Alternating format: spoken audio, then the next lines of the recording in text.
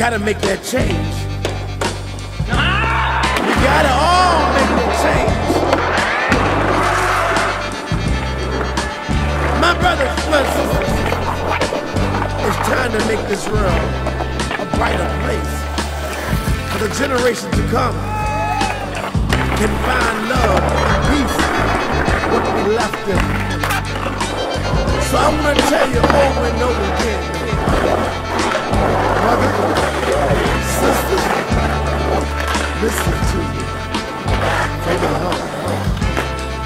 Oh.